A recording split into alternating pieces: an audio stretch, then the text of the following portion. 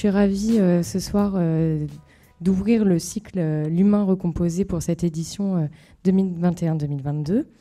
Donc c'est l'un des cycles que l'Espace France organise avec l'Université de Poitiers et plus spécifiquement pour celui-ci avec le CHU également.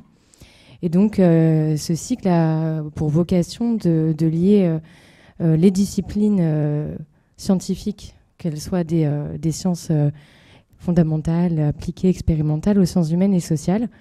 Et on commence ce soir avec une thématique médicale, puisque c'est l'impression de 3D. Réparatrice pour l'interrogation, l'application actuelle, limite et perspective. Et je remercie Cyril Breck et Antoine Julienne euh, d'inaugurer ce, cycle 2021. Et je laisse euh, la parole à Lydie Baudieu, qui est vice-présidente euh, en charge de la recherche. Oui, c'est bon. Pardon, culture scientifique, excuse-moi. de la culture scientifique à l'Université de Poitiers, avec laquelle nous organisons ce cycle. Oui, merci, merci Héloïse. merci à vous d'être si nombreux et d'être présents aujourd'hui. C'est la troisième année euh, de ce cycle euh, qui a été créé euh, particulièrement avec Thierry Ouette, pour lequel j'ai un petit salut aujourd'hui parce qu'il devait, être là. nous organisons ce colloque avec l'espace Mendes France dans l'idée de la pluridisciplinarité et c'est intéressant aujourd'hui que vous parliez à deux voix. Euh, et, que, ce lancement euh, aujourd'hui soit celui de, deux disciplines euh, qui travaillent ensemble pour une même intention. Et c'est vraiment ce qui prévaut à la construction de ce cycle particulièrement, c'est de faire dialoguer des disciplines différentes avec une intention qui est celle de, de l'humain recomposé pas forcément uniquement en, santé d'ailleurs, euh, puisqu'on a quelques conférences qui sont aussi celles de, euh, sciences humaines, euh, d'histoire. On a eu des prothèses antiques, je crois, l'année dernière. On s'en souvient, on s'en souvient encore. Donc, donc c'est un cycle particulier, en tous les cas, dans le groupe des cycles que nous menons à l'université de Poitiers, puisque c'est une thématique particulière que l'université propre porte, celle de la, de la de l'homme recomposé en santé. Je, parle là euh, sous le contrôle de, euh, Cyril. Donc euh, merci à vous d'être nombreux ce soir. Il y a trois conférences de prévues dans ce cycle, normalement. disons que pour l'instant c'est prévu. Qu'importe vents, et marées, nous serons là sous une forme ou, une autre. Donc, merci à tous les deux d'avoir accepté de donner cette conférence inaugurale. Et puis, ben, je vous laisse la parole. Merci Lydie. Euh, ben, bon, bonsoir à tous. Normalement, j'espère que ça fonctionne.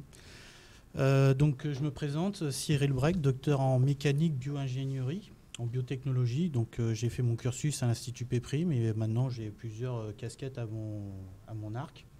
Alors, comme il va être maintenant coutumier du fait, il faut aussi présenter quand même qui on est avant de voir. on pourrait peut-être prétendre à un certain conflit d'intérêt avec des applications que je vais vous présenter ce soir. Donc en effet, je n'ai aucun intérêt dans toutes les applications que je vais pouvoir vous présenter ce soir sur les impressions 3D. Euh, je participe euh, également donc avec euh, Lydie et Emmanuel Kloss sur, l'homme recomposé. C'est un projet qu'on a avec la région et le bloc opératoire du futur qui est aussi également avec la région. Donc c'est en train de bouger au niveau de la région sur tout ce qui est recomposer l'humain, reconstruire, régénérer et le bioprinting en fait partie. Alors, pour commencer, je vais partir sur l'historique de l'impression 3D. Il y a un petit cocorico. En effet, l'impression 3D a été créée et déposée en 1984 par une équipe française. Donc ça, c'est quand même euh, la French Touch. Évidemment, ben, les Américains se sont un peu accaparés cette technologie, ont déposé d'autres brevets qui ont permis d'avoir d'autres procédures de fabrication. Et si vous regardez, je ne veux pas faire tout l'historique, mais en fait, on s'aperçoit qu'à partir de 2004, il y a des premiers open source qui ont été créés. Donc là, c'est la démocratisation. Il faut savoir que tous les brevets sont tombés. Donc en fait, c'est maintenant, tout le monde peut les utiliser. C'est pour ça que les tarifs et euh, l'impression 3D, euh, si tu me, c'est 1000 à 2000 euros, on peut trouver une imprimante 3D. Même en fait, euh, c'est beaucoup moins cher. là, sur l'image, c'est la Ender 3 euh, Pro. Euh, ça, c'est une imprimante chinoise. Euh, le logiciel est open source. Et donc, vous pouvez le modifier si vous voulez. Et ça, c'est 200 à 250 euros sur Internet. Voilà, et tout le monde peut avoir une imprimante 3D chez soi. Après, les premiers prix comme ça sont un peu plus difficiles de prise en main que les modèles à 1000 euros. On va citer des marques, hein, mais type Ultimaker qui sont un peu plus simples. Apple Touch où on met son modèle et puis ça s'imprime tout seul. Là, il faut calibrer un petit peu à chaque fois. Mais à 200 euros, on a des imprimantes 3D qu'on peut utiliser chez soi. Donc n'importe qui peut se faire plaisir dans son petit Fab Lab personnel de salon. Alors le principe, bah, euh, on a ce qu'on appelle un, fichier numérique, hein, donc c'est-à-dire qu'une pièce qui est dans le monde virtuel, alors soit c'est une pièce issue de la CAO, donc euh, tout ce qui est conception assistée par ordinateur, soit issue d'imagerie médicale, donc euh, sur le thème de ce soir, on peut en avoir aussi dans l'aérospatial. Donc en fait, il faut avoir ce qu'on appelle le jumeau numérique d'une pièce, et on génère un fichier qui est un standard. il y a plusieurs types de fichiers, hein, les 3MF, le STL, le DXF. Et après, on envoie ça sur l'impression. Et en fait, ça fonctionne comme une imprimante papier, euh, tout simplement. Évidemment, plus l'imprimante est chère, plus c'est facile. Mais voilà. Alors le prototypage rapide, euh, on peut aussi appeler ça au prototypage rapide dans l'industrie. Euh, c'est fait pour des petites séries, hein. c'est-à-dire que si vous voulez faire des pièces en série comme dans, une usine, bah, on déconseille l'impression 3D quand même parce que c'est assez long et, la fabrication n'est pas aussi fiable que la, fonderie ou le, le tournage fraisage. Par contre, c'est très appliqué aux formes complexes, donc euh, l'être humain s'y prête tout à fait. Au niveau des matériaux, euh, on est assez limité. Hein. on a quelques types de matériaux, on ne peut pas imprimer en n'importe quoi. Et la taille, euh, forcément, on peut avoir des. le maximum, c'est imprimer une maison en 3D, mais ça coûte très très cher. Donc en fonction de la taille, vous pouvez mettre plusieurs centaines de millions, milliers d'euros. Et il faut maîtriser le logiciel.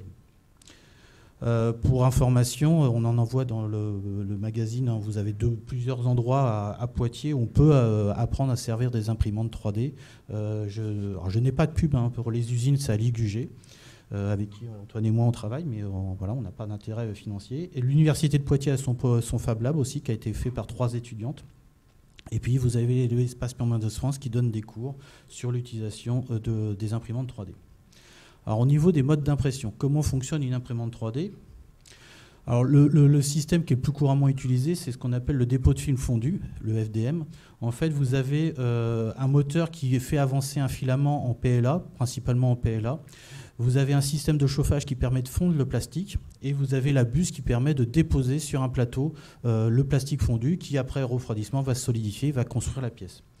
Alors cette buse, elle se déplace en X et Y je sais pas, voilà. Vous avez un axe en X et Y qui permet de déplacer la buse, et c'est le plateau en Z qui va faire les différentes couches.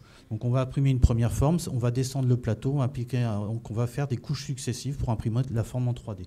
Vous allez voir des vidéos tout à l'heure pour être un peu plus explicite. L'une des autres techniques qui, est, alors, qui coûte un peu plus cher, là on n'est plus du tout dans l'imprimante 3D que vous pouvez utiliser euh, n'importe où. Hein. là c'est quand même réservé à des, applications euh, industrielles ou de recherche scientifique. Hein. Même si on peut l'avoir chez soi, mais euh, j'en ai peu vu. voilà. Euh, c'est chinois. Euh, vous avez donc le principe est simple, c'est basé sur la polymérisation d'une résine grâce à un faisceau laser. Donc en fait, vous avez un plateau qui est ici. Hein. Toujours le même principe, le plateau va descendre et on va imprimer en fonction des couches. Et c'est le faisceau laser qui va polymériser les, les différentes couches. Donc au lieu d'avoir un plastique qui va fondre, là c'est la résine qui va polymériser, qui va se durcir et vous avez le plateau qui va descendre au fur et à mesure et on va pouvoir représenter l'objet que l'on veut de forme très complexe. Euh, moi, la première fois que j'ai vu ça, c'est dans les années 95 en, chez Peugeot. Ils faisaient ça pour faire des pièces, en, des, prototypages rapides en stéréolithographie. Vous avez d'autres procédés qui sont basés aussi sur le simplement remplace le laser par une lampe UV. Alors voici un exemple très simple. Vous voyez le plateau descend, on vient avec un laser polymérisé, on vient, euh, c'est un racloir qui permet d'enlever euh, les, surplus de polymérisation et ainsi de suite jusqu'à attendre. Euh, donc on fait plusieurs couches, couche par couche. Hein. donc c'est la, construction en strate. Et vous avez, là c'est accéléré, euh, vous avez donc euh, le bain, la pièce euh, est construite dans le liquide. Hein, donc voilà. Et c'est à la fin, quand on a fini, que la pièce ressorte et on voit la, pièce complètement construite et qui va pouvoir s'égoutter. Voilà. Donc voilà le, principe de la stéréolithographie. Donc c'est une technique assez ancienne quand même. L'une des autres techniques, c'est le fritage laser. Alors le fritage laser va permettre, là, cette fois-ci, de plus imprimer avec de la résine ou du plastique, mais plus avec des métaux. Le, le, laser, en fait, c'est simplement de la poudre. On peut avoir différentes poudres, on verra les différents matériaux tout à l'heure. Euh, en fait, vous avez euh, un, un, racleur qui va déposer de la poudre sur un plateau. On va donc là, ici, il dépose la poudre sur un plateau. Le faisceau laser va polymériser comme le principe de la stéréolithographie. Et vous avez la construction de la pièce qui va se faire en descendant le plateau. Évidemment, il faut remettre de la poudre sur le racleur à chaque fois. Et ça permet donc de faire des pièces. Donc ça, c'est plus réservé à l'impression par euh, dépôt métallique. Donc voici un autre exemple donc, du, du, frittage laser par fruitage de poudre. Hein. Donc là, c'est des images, hein, euh, on n'enlève pas le laser à chaque fois, tout est automatisé. Hein. Donc vous avez le laser qui va faire la, première couche de la pièce, on va descendre le plateau, on va remettre de la poudre à l'aide du racleur, et on va remettre euh, et on va reconstruire euh, ainsi de suite avec un autre faisceau. donc le même faisceau laser va refaire la, couche supérieure, et ainsi de suite, ça va permettre d'obtenir toute la pièce. Alors là, par contre, euh, le, procédé, c'est sous enceinte climatisée, donc c'est-à-dire chauffé, ce qui permet de maintenir la pièce à une température. Donc là, c'est quand même réservé. Euh, on ne peut pas avoir ça quand même. Il faut avoir une certaine utilité, une certaine fabrication de pièces pour que ça soit rentable. C'est l'un des problèmes des, imprimantes 3D, euh, c'est que si vous les achetez puis que vous les laissez dans le salon, ben, ça s'use et qu'il faut quand même l'utiliser donc vous avez les différentes couches qui se sont faites. Donc tout ça se fait dans, un bac de poussière, hein, en fait, de, poudre de métallique ou de verre. Hein. Et une fois qu'on a fini, on enlève la poudre et vous avez la pièce qui a été polymérisée, hein, euh, qui, a, été euh, soudée en fait. Euh, l'un des principes qui est très similaire à celui-là du frittage laser, c'est le polyjet. C'est-à-dire, au lieu d'avoir un racleur qui va vous mettre euh, une pellicule de, poudre à la surface, c'est simplement une tête qui va pulvériser de la poudre sur une, superficie et qui va donc se passer sur le même principe. Euh, donc voilà un peu les, différents principes. Alors il en a une, existe une multitude. Hein. dès que vous avez une nouvelle technologie qui existe, elle est brevetée. Euh, ça, forcément, les industriels savent très bien faire. Euh, mais là, maintenant, on a quand même une gamme de produits euh, d'imprimantes 3D qui permettent de faire n'importe quelle pièce en n'importe quel matériau. Concernant les, donc, les matériaux d'impression, on peut avoir, on va peut-être sortir un peu du domaine, il y a des impressions en cire, des modèles de cire pour faire de la, fonte en cire à, réduction. Vous avez le matériau alimentaire. Euh, ça, c'est les chocolatiers qui appliquent beaucoup ça. Vous pouvez faire l'impression 3D avec des chocolats. Donc, quand vous avez des formes complexes en chocolat, c'est pas l'artisan qui a, fait, qui a façonné peut-être la pièce, c'est simplement une imprimante 3D qui est venue déposer, toujours sur le même principe. Hein. Et vous avez aussi, c'est de la cellulose, hein, on pourrait croire que c'est du bois, mais en fait c'est des particules de, bois, de cellulose qui sont euh, implémentées sur, euh, toujours sur le même principe de l'impression 3D. Revenons quand même euh, maintenant au domaine euh, qui nous intéresse, c'est-à-dire le domaine de la santé. Alors en matière plastique, c'est l'une des gammes qui est la plus fournie. Donc vous avez le PLA, qui euh, c'est de l'amidon, hein, qui est très couramment utilisé. Nous, c'est ce qu'on a. L'exemple d'Antoine tout à l'heure sera fait avec du PLA. Vous avez du PET, vous avez différentes résines. Les résines ont l'avantage d'être plus, plus, plus dures et avoir des formes plus complexes, plus précises. Vous avez de l'ABS, alors tout le monde le connaît, c'est le, fameux Lego. Vous pouvez aussi imprimer vos propres Lego. Quand vous n'avez pas de Lego pour finir votre construction, vous pouvez avoir votre imprimante 3D pour fabriquer vos Lego.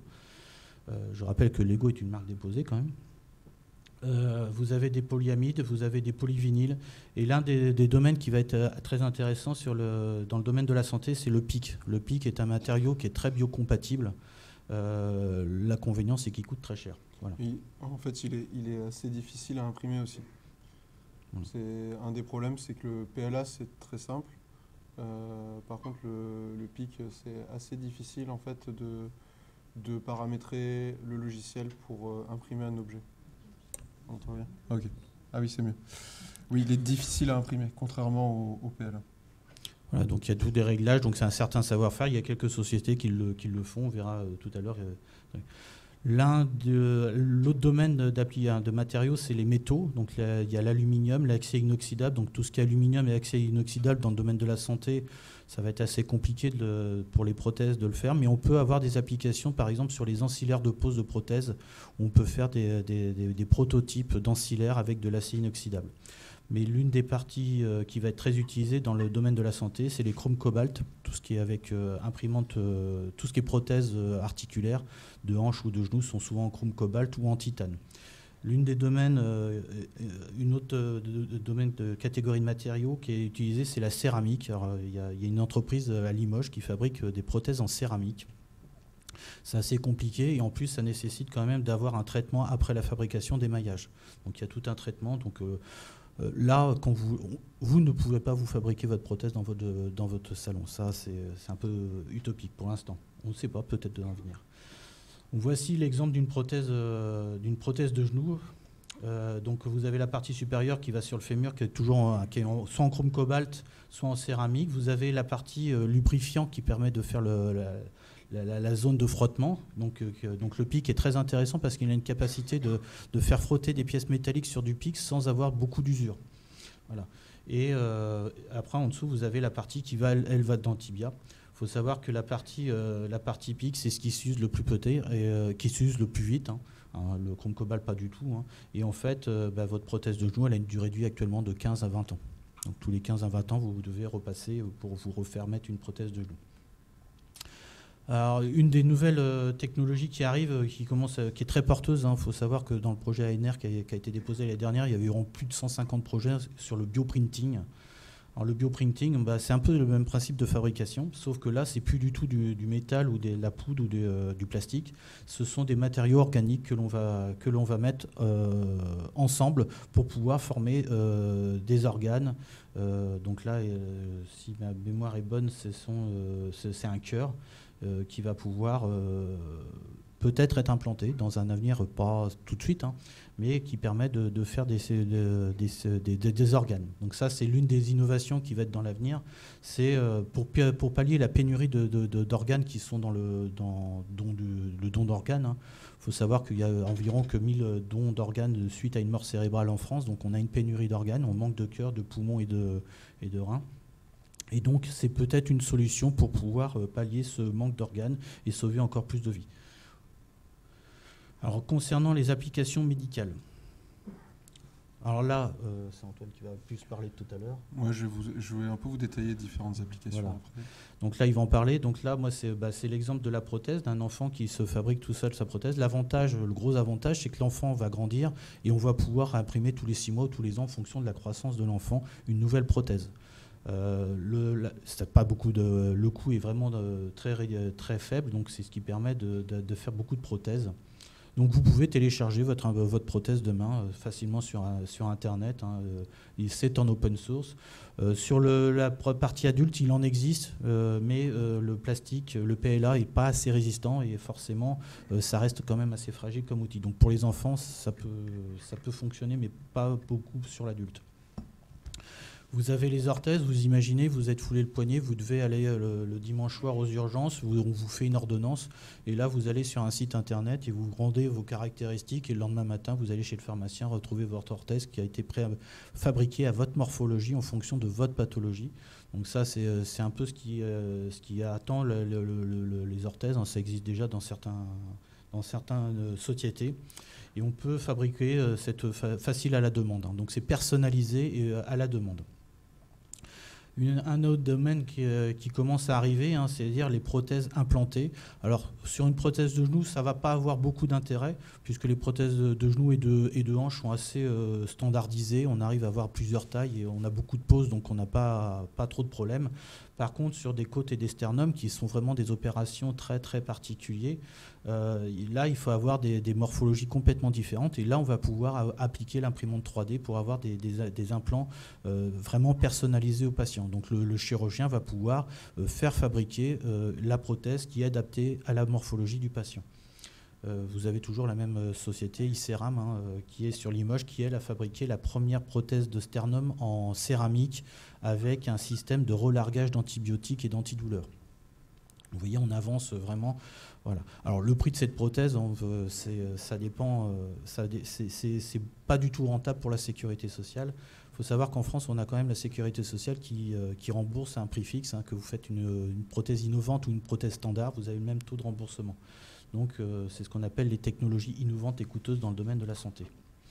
Vous avez euh, euh, d'autres applications sur le rachis, donc ça c'est une société américaine où en trabellucaire et métal, on va pouvoir donc développer des prothèses en fonction de la pathologie du patient. L'avantage, c'est que ça va permettre de, pouvoir vraiment avoir la, taille de la prothèse. ça reste encore breveté, donc il faut savoir que c'est sur 20 ans, donc il faut savoir que ça ne va pas arriver tout de suite. Hein, quand une technologie est brevetée, c'est-à-dire que là, vous avez peut-être une prothèse à 20 à 30 000 euros, sachant que la sécurité sociale ne remboursera pas cette somme-là, euh, ça reste quand même euh, réservé à une certaine classe euh, de personnes. Alors vous avez quand même des chirurgiens quand même qui ont un peu la, fibre de sauver des vies, heureusement. Et donc par exemple là c'est l'exemple d'un implant crânien. Donc c'est suite à un, traumatisme crânien. Il y avait vraiment une, partie osseuse qui était vraiment non récupérable et euh, l'impression 3D permet de garder la morphologie euh, de la tête du patient, donc avec des symétries. Donc là, c'est l'avantage, hein. c'est qu'en fait, en se servant de la partie gauche, on peut reconstruire la partie droite. Donc ça permet, c'est ce que fait un peu Antoine avec le nez. Vous avez aussi d'autres applications qui sont. Alors, on essaye, euh, les chercheurs essayent toujours de, se rapprocher de l'être humain, de copier l'être humain. Et donc, par exemple, pour favoriser la repousse osseuse, euh, vous avez des, structures maintenant qui sont bio, biocompatibles et résorbables. C'est-à-dire qu'on va mettre des prothèses dans le tibia, par exemple, et ça va recoloniser la, moelle osseuse, l'os, les ostéoclastes, les ostéoblastes. Et donc, on va pouvoir faire repousser de l'os. Voilà. Donc, ça, c'est une technologie qui commence à arriver. Euh, moi, ça fait à peu près 15 euh, ans que je travaille dans le domaine de la reconstruction osseuse euh, et surtout ce ciment de reconstruction recolonisable, résorbable, je fais très attention. Il y a eu des expériences qui ont été menées du, du, ciment résorbable pour coller des prothèses de hanche. Au bout de 20 ans, vous voyez toujours les traces de ciment résorbable. Donc peut-être que quand on sera mort, il sera vraiment résorbé, mais pour l'instant, euh, donc il faut faire assez attention. Mais c'est un peu on fait aussi ça avec des coraux pour pouvoir favoriser la repousse osseuse euh, des structures euh, d'un os qui a été fracturé vraiment d'une manière très communicative. Est-ce que ça reste le, vrai os? Alors, un, un de domaine, alors là aussi, hein, qui, est, très utilisé aux États-Unis, il y en a aussi en France. Hein. Euh, c'est vous avez une, euh, euh, radio panoramique dentaire et vous avez votre dentiste qui va vous reconstruire tous les dents que vous voulez en fonction de ce que vous avez. Donc vous imaginez, vous arrivez chez le dentiste, ah, c'est un, dur moment avec la roulette, vous devez bah, vous faire mettre une dent sur pivot, deux dents sur pivot, etc. Mais bon, il vous prend le moule, il vous revenez dans une semaine, vous vous reprend la prothèse, il vous revenez dans une semaine. Là en fait, ça vous arrivez le matin, vous repartez le soir, vous avez votre nouvelle dentition. C'est l'un des le gros avantage de l'impression 3D. Euh, il y a une application euh, que vous connaissez peut-être euh, pour, les dentistes. C'est, je vais citer une marque encore, c'est Invisalign en fait. C'est des gouttières pour faire des traitements orthodontiques. Et du coup, Invisalign, en fait, ils utilisent ça. Ils font des simulations numériques des mouvements des, des dents. Et ils impriment les gouttières en 3D qu'ils envoient au dentiste, qui lui fait le revendeur. Euh, et, du coup, ça fait un traitement orthodontique juste par gouttière, grâce à la simulation 3D, et où ils impriment les gouttières euh, pour adapter à la simulation qu'ils ont faite avant. Et ça reste vraiment une application très personnalisée. Vous n'avez pas la gouttière qui vous dérange parce qu'elle est standardisée. Vous avez votre propre dentition. On a tous notre propre dentition. Il n'y a aucune dentition qui est pareille. Donc forcément, ben là, on voit tout de suite l'application, euh, on va dire, morphologique, adaptée et biocompatible. Alors l'une des avancées, on en a entendu parler peut-être euh, récemment, c'est euh, des prothèses, euh, les prothèses mammaires.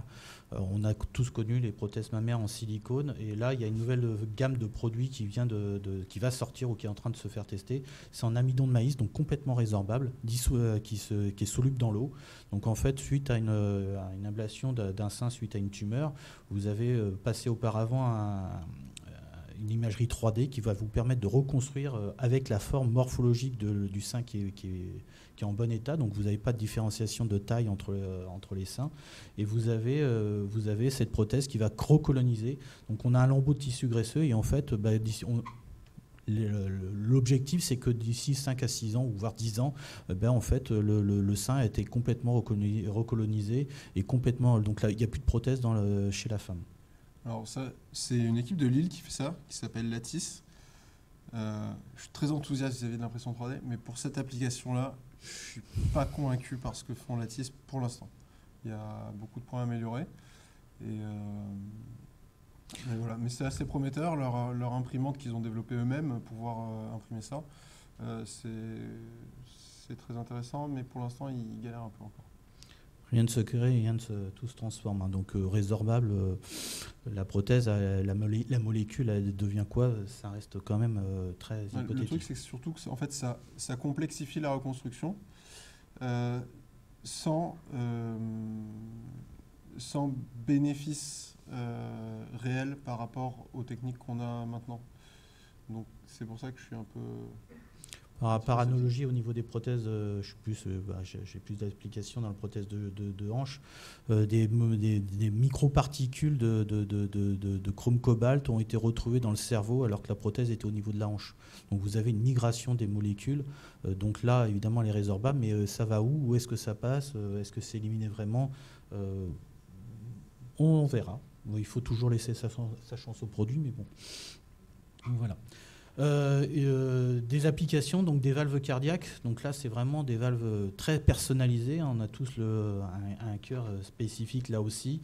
Et donc, à l'aide d'une imagerie 3D, euh, on va pouvoir adapter les, les tailles de, valves. Donc, c'est vraiment au micro, au micro, micromètre près. Hein. Et on va pouvoir reconstruire ces valves cardiaques en silicone. Euh, actuellement, euh, il y a plusieurs types de, valves cardiaques. Je sais qu'il y en existe, ça peut peut-être surprendre, mais avec euh, des, matériaux qui sont ici, issus des vaches. Alors, cette prothèse-là doit être testée. Donc, on a tous le, vaccin actuellement. est-ce qu'il est bon Est-ce qu'il n'est pas bon Mais les prothèses, c'est encore pire que ça. C'est que là, vous avez une nouvelle normalisation. Il faut faire des tests. Mais alors, c'est pas avant 10 ans. Donc vous imaginez le coût que ça peut avoir pour développer ce type de prothèse et forcément bah, les, industriels, s'ils investissent dans cette technologie-là, c'est pour récupérer malheureusement bah, leurs bénéfices hein, et donc ils prothèsent absolument tout avec des brevets. Je peux vous citer un exemple sur une vis euh, que l'on met au niveau de, la tête. Hein. Il y a une société, elle a plus de 20 brevets sur la vis. Donc sur une petite vis, vous avez 20 brevets. Donc vous imaginez à chaque fois combien ça coûte euh, d'investissement pour une société. Alors, euh, je ferai euh, ici la petite attention. Donc, on dit, ouais, on est capable d'imprimer des organes. Alors, vous avez tous des applications sur Internet. On vous imprime un cœur, on vous imprime, euh, donc vous avez une imprimante 3D en amidon, etc. Il faut faire très attention parce que ces organes, est-ce qu'ils sont vraiment implantables? La réponse, malheureusement, pas encore. On l'espère un jour, pas tout de suite, hein, dans une dizaine, vingtaine d'années. ce sont simplement des organes qui permettent de faire de la simulation.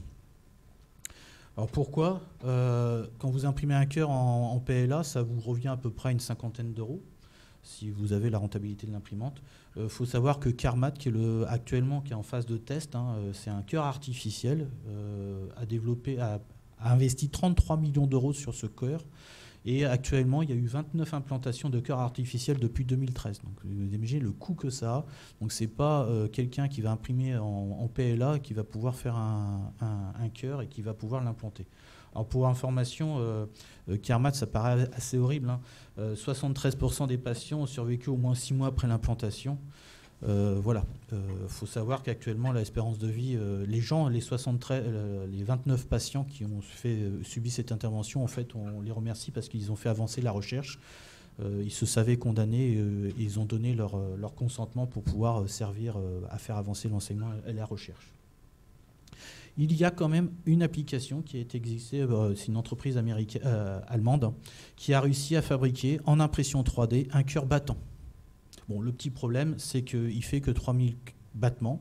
Après, ben, le silicone se désagrège, ce qui représente à peu près une heure de vie.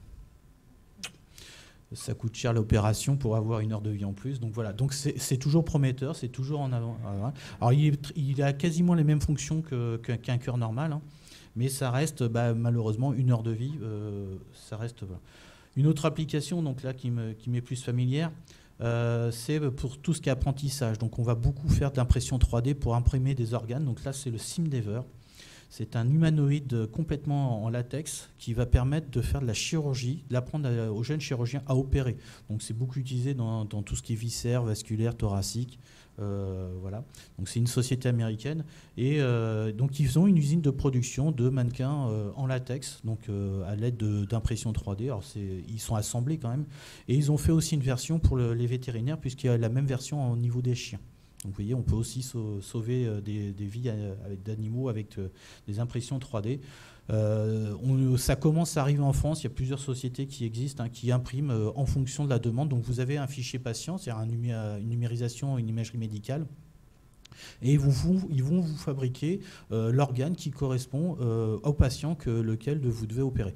Ça reste quand même une application qui est faite pour euh, des, opérations qui sont très risquées, qui sont très rares. Hein. par exemple, pour une prothèse de hanche, on ne fait pas du tout ça. la prothèse de hanche ou de genou est devenue une opération banale pour un orthopédiste. donc voilà, donc ça, Antoine en parlera un peu. Il y a, euh, alors il y a actuellement quand même, euh, doit-on toujours euh, faire de l'impression 3D Alors là, je, vais aller à le contre-courant. il y a des sociétés maintenant qui, et des applications qui sont faites maintenant avec des jumeaux numériques. Donc en fait, on va plus pouvoir, va plus avoir besoin d'imprimer en 3D des organes pour pouvoir apprendre à opérer. Euh, sur des patients très spécifiques. On va faire carrément de la simulation préopératoire. Donc on va simuler les organes au niveau des maillages, au niveau des formes, mais aussi si je fais cette intervention-là, si je coupe une artère, qu'est-ce qui va se passer? Donc on est capable quasiment maintenant d'opérer dans le monde virtuel, euh, euh, comme les Sims, hein, vous êtes chirurgien virtuel, avant de passer sur le concret. Le but c'est toujours d'opérer un patient. Vous avez ces deux versions qui sont pour moi, qui sont complémentaires, c'est-à-dire qui peuvent avoir des intérêts. Parce que le, chirurgien, ça reste quand même l'artisan, euh, du corps et qui doit quand même toucher le produit. Euh, alors que sur les jumeaux numériques, vous n'avez pas l'aspect haptique hein, de la sensation de comment j'opère, comment je, touche le tissu. Euh, voilà, il y a quand même beaucoup une sensation. Euh, concernant le bioprinting, donc vous avez euh, des applications qui sont quand même assez prometteuses. Hein. Euh, donc là, c'est le, cartilage d'une oreille, donc d'un enfant. Alors ça a été fait, ça a été implanté, ça a permis de reconstruire l'oreille d'une enfant. Vous avez des tissus qui sont bioprinting. Donc là, vous avez un système avec une seule buse, donc vous mettez qu'une seule cellule. Vous allez sûrement avoir des traitements. Et une autre application qui, est pas, qui est chinoise, en fait, ils ont eu l'idée est-ce que ça va réussir, de faire de l'impression du derme et de l'épiderme sur un patient directement? Donc vous êtes, euh, vous êtes brûlé, vous allez aux urgences et vous passez au bloc opératoire et là vous avez une imprimante 3D. Alors ça sera peut-être plus un robot euh, d'assistance chirurgicale qui va vous venir vous tisser, vous, vous imprimer sur, votre, sur vos brûlures, euh, après avoir peut-être été nettoyé, une peau qui va pouvoir permettre de cicatriser et de, de, faire vous briser peut-être la repousse osseuse. ça reste quand même encore très expérimental. Il n'y a pas eu d'application sur le, le vivant encore actuellement. Euh, le bioprinting marche à toutes les échelles. Donc vous avez l'échelle macro euh, comme la peau, mais aussi à l'échelle micro comme les cellules. Euh, et on en a au tout début. Hein. Donc je vous ai dit tout à l'heure, vous avez quand même l'ANR qui présente plus d'une centaine de projets sur bioprinting au niveau cellulaire. Donc ça, c'est le, génie organoïde et tissulaire. Alors c'est plus Thierry qui vous parlerait de ça, parce que c'est plus dans sa domaine de compétence, mais il n'a pas pu être là ce soir. Euh, donc on a arrivé quand même à faire vivre une cellule qui a été imprimée en 3D, et on vient juste de s'apercevoir quand même qu'il fallait euh, faire des vaisseaux pour alimenter en sang. Donc vous voyez, on en est quand même là. Alors de là à fabriquer un cœur, un rein et un poumon, euh, on n'est pas pour tout de suite. Une autre application, donc on a eu beaucoup à faire dans le Covid, hein. donc euh, la visière à faire soi-même. Donc ça, euh, vous avez euh, tous les Fab Labs de France qui ont été très solidaires et on les remercie lors de la, crise du Covid, qui ont fabriqué des masques pour les entreprises, pour les, caissières, pour tout le personnel qui était à risque et qui a été, comme on dit, au front. Et vous avez aussi d'autres applications, donc ça c'est en Italie, vous avez des chirurgiens italiens qui ont modélisé des, des valves pour les appareils de respiration et qu'ils ont fabriqué en série. Euh, donc ça, Antoine a toute une application euh, plus détaillée là-dessus. Donc euh, ça permet, dans le cadre d'une crise, hein, de pouvoir fabriquer. malheureusement, il faut quand même toujours de la matière première. Heureusement, il y avait pas mal de PLA et d'amidon de maïs en, Europe. Il faut savoir que dans certains cas, les matériaux peuvent peut-être faire une pénurie.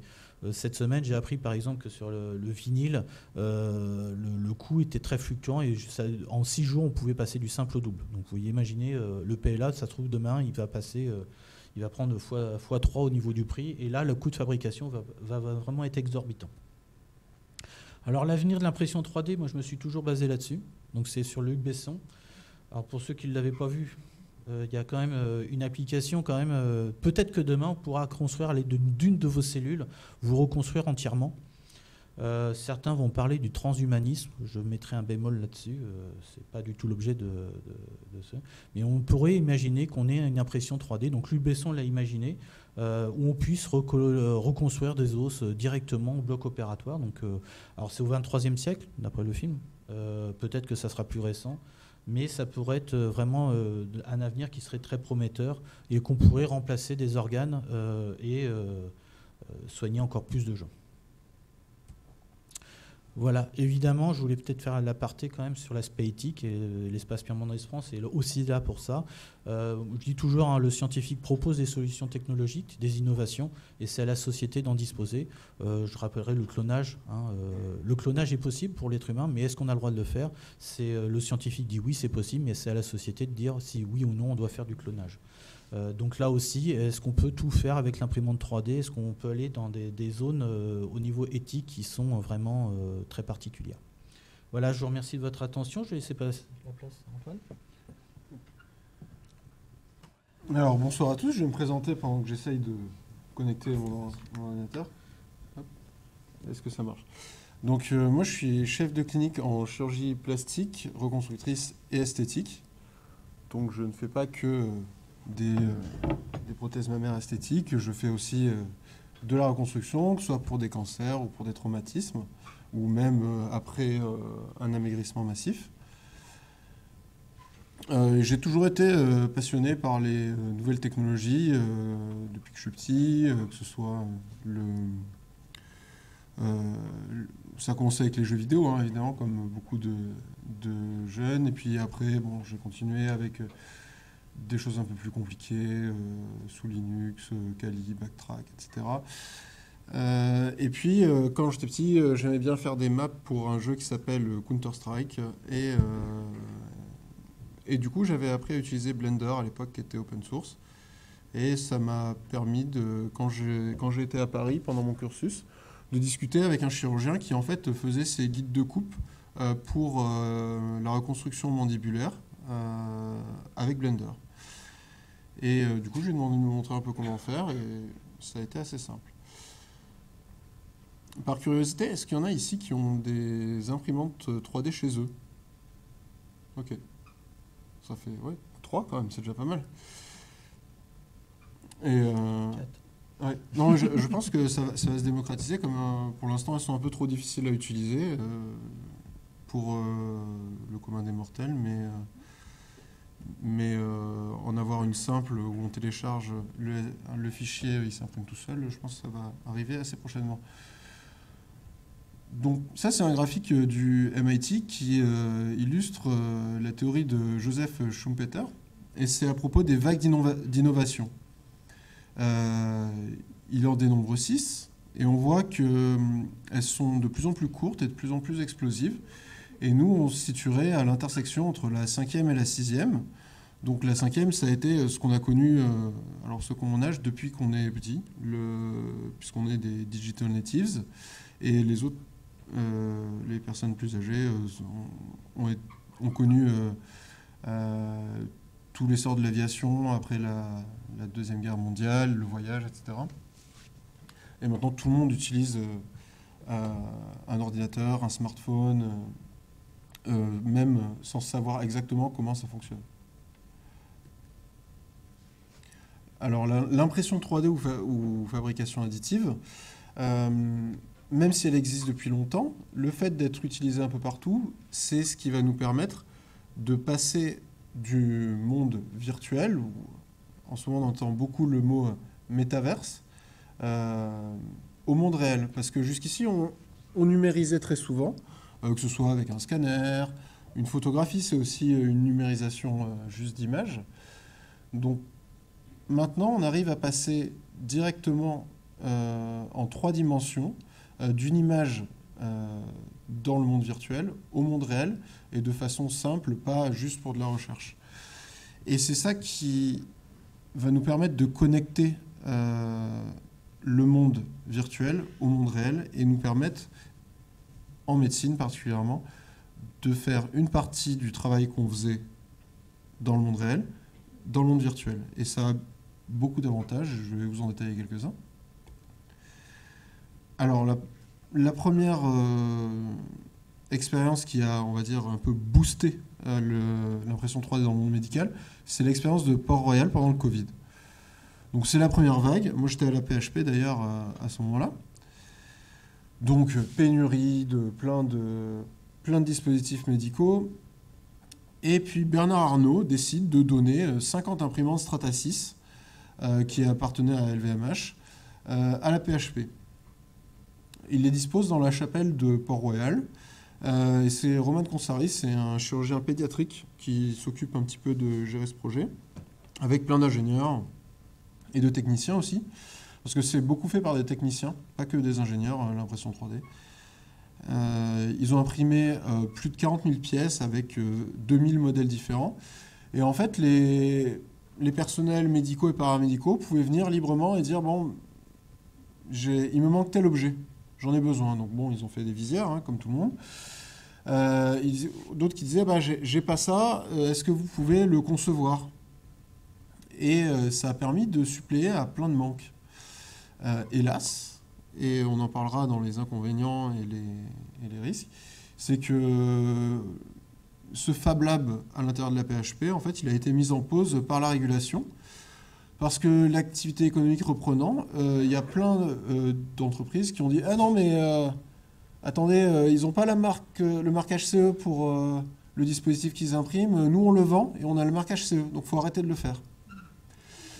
Et donc, ils se sont retrouvés à pouvoir imprimer des dispositifs médicaux qui étaient euh, très euh, pratiques et peu chers, euh, stoppés dans leur élan par la régulation, par le législateur. C'est un peu dommage. Donc les différentes applications, vous en avez entendu parler un petit peu. Il y a la modélisation préopératoire. ça peut servir à planifier une intervention. Mais, et ça, c'est dès janvier 2022 ça peut aussi, servir à communiquer. Parce qu'en fait, quand vous allez chez le, chirurgien ou le médecin, euh, il vous dit bon, il faut vous opérer, il vous explique, vous ne comprenez pas forcément euh, ce qu'il vous raconte, vous comprenez un peu, puis il vous montre sur des images de scanner, ah, elle est là, la tumeur. Bon, euh, ben, c'est difficile parce que le, médecin, lui, il en voit tout le temps, pour lui c'est évident, mais pour le patient, on lui montre des images en noir et blanc d'un scanner un peu pourri, on ne voit pas sa tumeur. Et l'impression 3D, ça peut permettre de communiquer de façon euh, plus efficace avec le patient en imprimant, par exemple, la tumeur du patient. Et ça, rien que pour l'acceptation de l'intervention chirurgicale ou pour euh, diminuer son stress, euh, je pense que c'est très important. Et à partir de janvier 2022, ça va être intégré dans la tarification de la Sécu le fait de faire un modèle préopératoire pour le patient pour lui expliquer son intervention chirurgicale. Après, il y a aussi la précision opératoire. Euh, ça, je vous en parlerai avec euh, des, exemples. C'est-à-dire, c'est au lieu de faire à l'appréciation, donc euh, tel un, artiste à main levée, eh ben, on va faire des guides de coupe et où on va opérer exactement au micromètre près. Je vais vous parler aussi des prothèses et des orthèses, un peu des, implants et d'une question qui, je pense, va se poser dans les années à venir c'est euh, sur la question logistique euh, et, la chaîne d'approvisionnement. Et puis un petit mot sur la bioimpression avec euh, la vision aujourd'hui. Donc ça, c'est des modèles anatomiques de fractures complexes du poignet. Parce qu'en fait, quand on se casse le poignet, ça peut être une fracture simple, en deux parties. Et là, il n'y a pas un problème. Parfois, on peut même ne pas avoir besoin d'opérer quand c'est peu déplacé. Mais quand ça touche l'articulation, là, on risque d'avoir besoin d'opérer. Et on a plusieurs possibilités, plusieurs interventions possibles. Et euh, la radio ou le scanner, parfois, ça ne permet pas de bien se représenter la fracture pour proposer au patient le traitement le plus adapté pour lui. Ça, c'est des modèles anatomiques pour que les chirurgiens de la main s'entraînent. Et là, je vais vous parler de, Samuel Guigaud. Alors, Samuel Guigaud, il a un, profil euh, un petit peu original, puisque à la base, il est euh, manipulateur radio. Donc, son travail, euh, il est au CHU de Brest, où je suis passé aussi. Euh, son travail, c'est d'accompagner le patient en salle de, radio et de lui faire passer soit un scanner, soit un IRM, soit des radios simples. Et puis voilà, de, faire des acquisitions de belles images et puis de, de délivrer les images pour le médecin radiologue qui va les interpréter. Et, et en fait, il était assez dynamique et c'est un, des manip radio qui a choisi d'aller plus loin en fait, dans son métier et de partir vers un parcours recherche. Donc après avoir fait un peu manip radio, il s'est dit, bon ok, moi je veux aller plus loin. Et comme moi, il était un peu, un peu geek sur euh, certaines, certaines technologies et il s'est dit moi c'est l'impression 3D qui m'intéresse donc il a fait un master 2 il a, fait son mémoire euh, sur l'impression 3D et euh, le, CH, le CHU de Brest lui a laissé sa chance. Ils lui ont mis un labo à l'intérieur du CHU de Brest où il doit développer l'impression 3D pour plein d'applications différentes au CHU de Brest. Là je vous en ai mis une parce que quand je suis passé à Brest j'étais dans un service pluridisciplinaire orthoplastique. Et donc ça, c'est une, application avec euh, le service d'orthopédie. Mais il travaille aussi avec la médecine nucléaire. Par exemple, il a imprimé des, des guides pour maintenir la, main des patients âgés quand ils doivent passer une scintigraphie de la main, par exemple. C'est des patients âgés qui euh, sont un peu déments, qui ils ont tendance à bouger, à être peu compliants. Et donc, pour qu'ils bougent moins leurs mains, il a développé un guide. C'est tout bête, mais ça répond à une problématique. Donc là, c'était une fracture complexe de la scapula. Euh, le patient, est arrivé euh, la veille à 18h. Le staff d'orthopédie, il était euh, à 8h le matin. Il a pris les images scanner, il a lancé l'impression de la scapula, et le matin même, au staff d'orthopédie, on voit mes joyeux confrères d'orthopédie qui avaient la scapula directement dans la main, imprimée dans la nuit, pour choisir comment est-ce qu'ils allaient opérer la scapula, parce qu'en fait, c'est pas facile de s'exposer pour choisir sa voie d'abord. Et voir si le, si le patient n'a pas de place au bloc opératoire tout de suite, on peut carrément conformer la plaque euh, d'ostéosynthèse, euh, on la chantourne, on appelle ça, sur le modèle qui est imprimé, puis après on l'envoie à l'autoclave qui sert à stériliser. Euh, ça dure 6 heures, un cycle de stérilisation. Et puis après, on pourra directement faire l'ostéosynthèse sans avoir à euh, conformer la plaque sur le patient donc pendant du temps opératoire. Donc ça fait économiser un temps opératoire qu'on fait en dehors. Donc là, euh, ah oui, désolé, euh, ça va être un peu trash. J'avais oublié qu'elle était là, la diapo. donc s'il y a des personnes sensibles, ne regardez pas trop. Les images sont anonymisées. voilà. Bon, il y a juste deux images trash. Il y en a une où on voit la perte de substance et, et puis après une où on voit le cartilage conformé. Je vous parlais de mon expérience à moi. Euh, donc c'est une patiente qui s'est fait euh, manger euh, son aile narinaire par son chien. Et en fait, le nez, c'est une structure anatomique assez complexe. la description vintage, comme on voit dans les manuels de chirurgie plastique actuelle, elle décrit sept sous-unités. La description moderne, comme les Turcs qui sont les spécialistes de la rhinoplastie, en fait, ils ont une approche où il y a euh, plus de 22 polygones euh, pour euh, décrire un nez. et eux, ils l'utilisent pas spécialement pour la chirurgie reconstructrice, mais pour la chirurgie esthétique du nez. C'est ceux qui sont à la pointe, même s'ils sont inspirés des techniques d'un Français qui s'appelle Yves Saban, qui, travaille toujours. Et l'élève français le plus connu à la clinique des Champs-Élysées, c'est le docteur Lange qui utilise ces techniques-là. Donc, n'étant pas au fait des techniques des Turcs, parce que j'ai pas été euh, encore faire mon stage là-bas pour apprendre, je me suis dit, ok, je connais pas bien les 22 polygones des Turcs, j'ai une forme complexe. Donc là, au bloc opératoire, je l'avais vu auparavant aux urgences.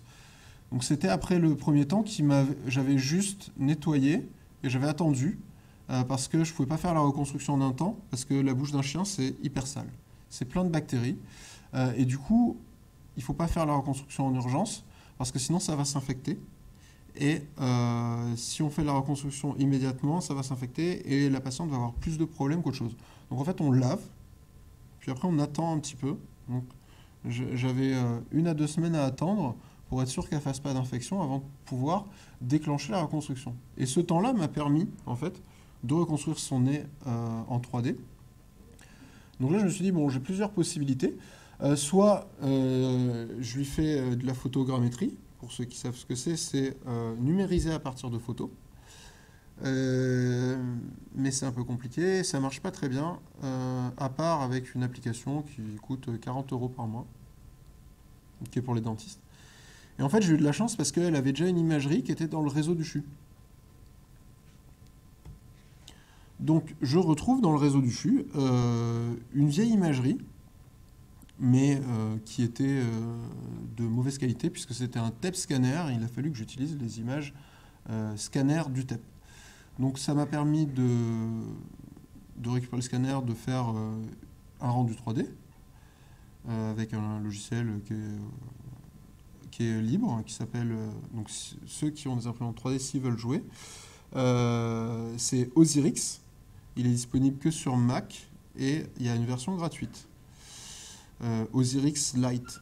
Et vous pourrez récupérer vos scanners et, et, jouer à vous reconstituer en 3D si vous le souhaitez et exporter le fichier STL. Euh, donc là, désolé pour ceux qui, qui, à qui ça parle pas. Il faut aller voir les vidéos si vous voulez. Il y a un tuto par Laurent Ganry. Euh, c'est le chirurgien que j'ai rencontré à Paris, euh, à l'hôpital Tenon. C'est G-A-N-R-Y. Il n'y a personne qui regarde sa chaîne YouTube, mais il fait des vidéos très détaillées avec des tutos complets, si vous voulez, sur l'impression 3D médicale, avec que de l'open source. Euh, donc, mais laissez-lui des commentaires, il sera content. Il répond à tout. Euh, il, est, hyper gentil. Euh, et du coup, personne ne regarde sa chaîne YouTube, ça lui fera 2-3 vues en plus. Et il s'est donné beaucoup de mal pour détailler tout. Donc là, c'est le fichier que je récupère dans un logiciel pour traiter. Alors là, on a la chaînette euh, qui est sur le nez de la dame encore, donc c'est un peu compliqué. Euh, et le nez n'est pas de bonne qualité, donc il a fallu que je l'affine avec des algorithmes euh, que je ne détaillerai pas. Là, on le voit bouger, donc c'est pas de très bonne qualité. Puis là, j'ai appliqué un premier algorithme pour lisser. Je ne vous détaillerai pas non plus. Puis un deuxième pour avoir une image qui est un peu plus lisse. Et là, je vais utiliser celle-là. Là, après, c'est utilisé dans Blender. C'est un autre logiciel encore. Libre, toujours. Euh, celui d'avant, euh, c'est euh, MeshLab, mais il est trop compliqué. Ceux qui veulent s'amuser chez eux, utiliser Mesh Mixer, qui est un logiciel libre aussi. Voilà. Et là, c'est en train d'imprimer sur l'imprimante au laboratoire de la faculté. Ah oui, ça va être encore gore. Pardon. Là, c'est pour vous expliquer à quoi ça m'a servi. Donc, là, on voit qu'il y a un cartilage qui a été prélevé sur une zone qui est très pratique pour donner du cartilage. Il y en a deux sur le corps. Des zones qu'on utilise pour récupérer du cartilage, pour le transposer ailleurs. Il y a euh, les côtes, puisqu'on a des côtes flottantes qui servent à rien. Donc c'est hyper pratique pour prendre du cartilage. Et puis il y a l'oreille. Et en fait, si on prend du cartilage à l'intérieur de l'oreille euh, et qu'on le fait bien, on verra rien. Et après, la fibrose cicatricielle euh, va faire que le patient s'en rendra même pas compte. Donc là, je l'ai pris au niveau de l'oreille. Et le petit bout de peau, c'est un lambeau euh, nasogénien, ça s'appelle. Et en fait, on voit un petit point qui est placé sur le cartilage qui a été pris dans l'oreille. En fait, j'ai affiné avec un bistouri pour lui mettre exactement la conformation euh, que je souhaitais euh, sur euh, le nez imprimé en 3D. Alors on voit qu'il y a du plastique autour, c'est tout simplement parce que le PLA, je n'ai pas le droit de le mettre en contact directement avec le patient. donc j'ai utilisé un plastique qui a toutes les normes CE pour pouvoir le mettre en contact directement avec le patient. Que c'est un plastique qu'on utilise au bloc opératoire qui nous sert d'interface en fait. Et donc ça m'a permis de le conformer exactement comme il fallait, euh, au lieu de passer euh, des heures en le mettant sur l'autre côté, etc. Là, j'avais l'image de, son nez euh, auparavant. Puisque c'est en fait c'est le cartilage qui fait la forme du nez, c'est pas du tout la peau. Et voilà, là on voit la patiente quelques mois après, et on voit son nez de profil avec, qui a été, avec le cartilage qui a été couvert par le petit lambeau qui a été pris dans le sillon nasogénien, donc en fait dans la ride. Donc ça fait que la cicatrice, euh, s'applique à faire une belle suture, euh, la cicatrice se voit pas, puisqu'elle est à l'intérieur de la ride. Et pareil, c'est l'oreille sur laquelle on a prélevé le cartilage. Euh, on ne voit pas qu'il y a eu un prélèvement. La cicatrice, je l'ai placée euh, sur, euh, en fait, sur un relief. Euh, et du coup, ça ne renvoie pas la lumière et on ne peut pas euh, se douter qu'elle a eu un prélèvement de cartilage au niveau de l'oreille. Voilà. Euh, avant que je vous présente d'autres euh, exemples, vous avez peut-être envie de participer, des questions à propos de, ça? Non? On, les, on gardera pour après alors. Donc là, c'est les applications de guide de coupe. Donc ça, c'est un exemple pour viser sans ouvrir pour les fractures de scaphoïde. On va imprimer en 3D euh, un guide pour passer la tige qu'on va placer. Ensuite, on va envoyer une vis qui passe autour de la tige euh, et qui permet d'aller ostéosynthéser le scaphoïde qui a été cassé. Donc ça fait gagner du temps et ça augmente en, précision. Euh, là, c'est une application de guide de coupe, mais c'est vraiment trop gore, donc je ne vais pas vous la passer. Euh, ouais. Donc c'est une application qui est très intéressante. Euh, en fait, c'est pour les personnes euh, transgenres. Euh, et c'est pour les personnes transgenres MTF. Donc ça veut dire les gens qui font une transition de male to female. Donc ce sont des femmes trans. En fait, les hommes ont, euh, cis, on a des, reliefs qui sont des caractères sexuels secondaires, en fait, des reliefs frontaux qui sont euh, des sinus frontaux qui sont assez importants. Pareil, on a les angles mandibulaires qui peuvent être plus forts en général, euh, et le menton. Et du coup, les, femmes trans, euh, souvent dans leur parcours de transition, pas toutes, hein, elles font comme elles veulent, elles souhaitent avoir une féminisation de la face, et c'est une intervention qui est relativement complexe, parce que ça nécessite d'impacter euh, les sinus, euh, de couper les angles mandibulaires, euh, de faire une génioplastie, voire aussi de faire une rhinoplastie dans le même temps. Donc on garde le même visage, mais il est féminisé. Et il y a un risque très important quand on fait la frontoplastie, c'est de faire une brèche ostéoméningée, parce qu'à certains endroits, le front est, très, l'os frontal est mince. Et du coup, il y a une société, citer le nom, hein, mais bon, c'est le leader et c'est eux qui le font pour tout le monde, qui s'appelle Materialize, euh, qui euh, fournit euh, des guides de coupe pour cette opération. Et donc en fait, on envoie un scanner de la patiente à Materialize. Il nous renvoie une simulation, on valide, et après on a des guides de coupe, donc on va passer par là, on va tout décoller, on, dé- on se place sur l'os, et on a vraiment tout qui est euh, prédécoupé. Ça c'est, euh, on le fait pas encore au CHU de Poitiers. Euh, C'était à Paris. Et du coup, ça permet de faire ça de façon très précise et aussi beaucoup moins risqué. Ça évite de faire des, brèches euh, ostéoméningées en risquant une méningite derrière. Et alors, certes, c'est pas un, un des usages les plus fréquents, mais c'est très utile pour ces patientes. Donc là, c'est un exemple de prothèse euh, imprimée en 3D. Et ça, c'est les Chinois qui ont fait celle-là. Euh, ils ont fait plusieurs. Et pareil, le modèle est open source. Et ça, c'est carrément une prothèse myoélectrique. C'est-à-dire que cette, euh, cette prothèse-là, vous pouvez bouger les doigts en fonction des, des potentiels, des, potentiels de, des muscles qui restent sur le moignon.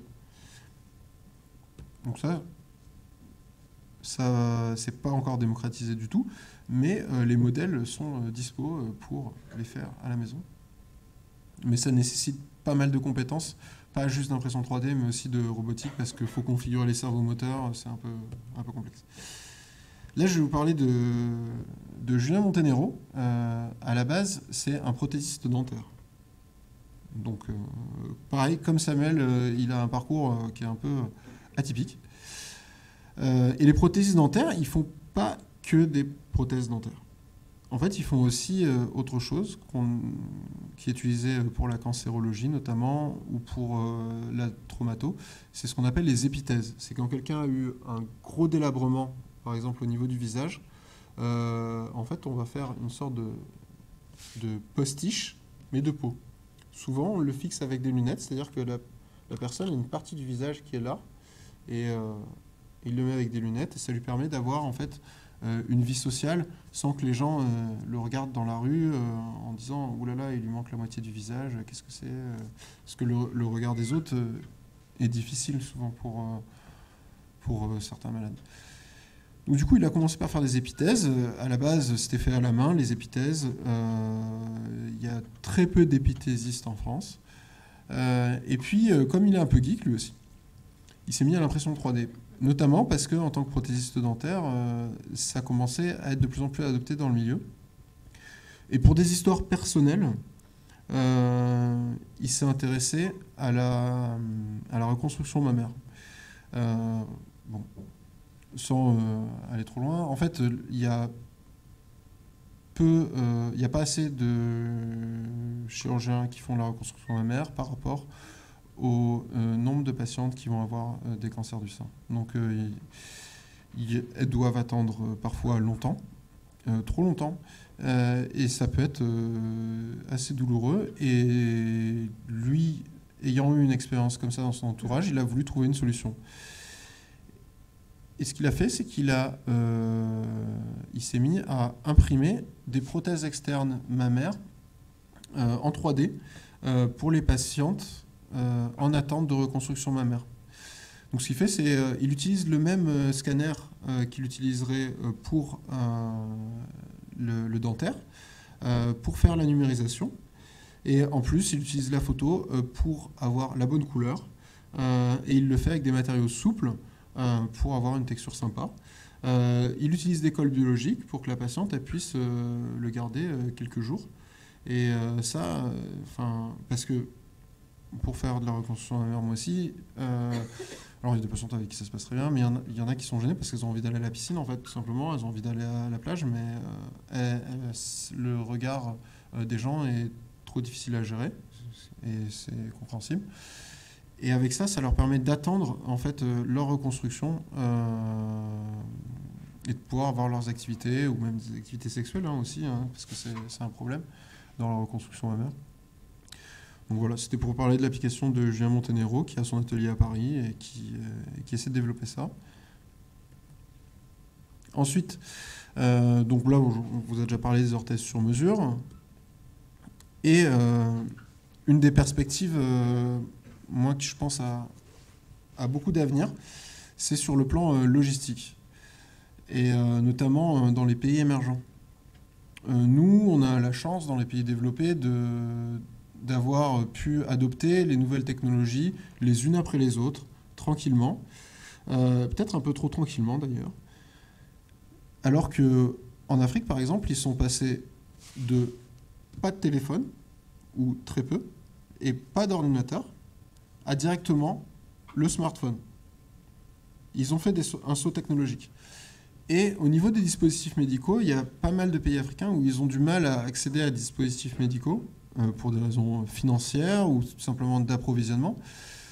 Et euh, ça, c'est au Sierra Leone. Ils développent énormément l'impression 3D euh, pour pallier à leur manque, en fait. Mais peut-être que nous aussi, on va devoir s'y mettre parce que. Bon, ça, après, c'est purement hypothétique. Mais dans un contexte inflationniste, avec un coût de l'énergie qui augmente, donc les coûts des transports qui augmentent, un coût des matières premières qui augmente aussi. Euh, peut-être que l'impression 3D euh, va nous permettre de répondre à certaines problématiques. Ensuite, bon, la impression, on en a parlé. Moi, ma vision par rapport à ça, c'est je pense qu'on en est très proche, puisque en fait, on sait ce qu'on sait déjà à peu près faire, mais dont on n'a pas encore toutes les applications c'est imprimer la matrice extracellulaire. La matrice extracellulaire, c'est juste des protéines, en fait. Euh, ça peut être du collagène, de l'acide hyaluronique, de l'élastine. Euh, donc, ce n'est pas des cellules. C'est euh, juste des fibres protéiques qui permettent de maintenir les cellules entre elles et les tissus. Ça, on sait déjà utiliser, par exemple, je vais citer encore des marques, hein, mais Integra, qui fait du derme artificiel, ou matriderme aussi qu'on utilise en chirurgie reconstructrice chez les brûlés, ou, euh, ou par exemple euh, quelqu'un qui à qui on a enlevé un petit cancer de la peau, on peut mettre un derme artificiel en attendant de faire sa reconstruction définitive si on n'a pas les résultats de ces analyses. Donc les matrices, on les a déjà. Les imprimer en 3D, le saut technologique, il n'est il est pas, pas très grand à faire avant de pouvoir le faire. Alors, ce qui va nous freiner, ça va être toute la régulation, les tests à faire sur l'animal, etc. Ensuite, une fois qu'on maîtrisera bien l'impression de matrice, ce qu'on pourra faire, c'est imprimer des matrices cellularisées. En fait, si on a une densité de cellules qui est faible dans un tissu, euh, elles vont marcher, enfin, euh, leur greffe va prendre sans être forcément vascularisée. C'est ce qu'on appelle le processus d'imbibition. C'est ce qui se passe quand on fait une greffe de peau. C'est ce qui se passe quand on fait euh, ce qu'on appelle un lipofilling. C'est quand on prend de la graisse quelque part et qu'on le transfère ailleurs. c'est populaire pour la reconstruction mammaire. C'est populaire aussi en esthétique. on appelle ça le Brazilian butt lift ou le lifting de fesses brésilien. Euh, c'est très popularisé par les candidats de télé-réalité ou Kim Kardashian ou autres, puisqu'elles se font prendre de la graisse euh, quelque part autour de la taille et se le font mettre dans les fesses. Euh, et ce processus-là de, greffe de graisse pourrait être combiné à l'impression de matrices extracellulaires afin de remplacer des tissus. Et l'étape d'après, bon, ça on en a parlé, c'est de faire carrément des organes entiers. Donc la conclusion, euh, c'est à propos de ces technologies. Euh, les grandes forces, c'est principalement la diminution des coûts et euh, des temps opératoires pour les applications chirurgicales. Et c'est l'augmentation de la précision et la réponse aux problèmes de chaîne d'approvisionnement. Il y a aussi la médecine sur mesure, mais j'ai mis plus dans les opportunités une des faiblesses principales, c'est qu'en fait, les médecins ne sont pas formés. Et les médecins et les manipulateurs radio, enfin le personnel soignant en général, c'est eux qui voient les problèmes pour les et qui ont du coup euh, les idées pour les solutions. Or, le personnel soignant est très peu formé et donc ça limite son adoption. Euh, ensuite, on est peu équipé en imprimante 3D pour l'instant les opportunités, c'est que ça peut, enfin, on va pouvoir développer la médecine sur mesure, adaptée à chaque patient, et aussi ces technologies d'impression 3D, mais plus largement de conception assistée sur ordinateur. Euh, en fait, c'est interdisciplinaire. Si on maîtrise la, conception assistée par ordinateur, on va pouvoir euh, lier avec des techniques euh, de réalité augmentée ou de VR ou d'autres choses. juste de savoir manier des fichiers STL, donc c'est les fichiers qu'on utilise en impression 3D ou OBJ, euh, ça va permettre d'avoir des idées, d'avoir des applications possibles. si, je sais pas, la pénétration de, de cette technologie, est-ce qu'il y a des gens dans la salle qui ont des casques de VR Voilà.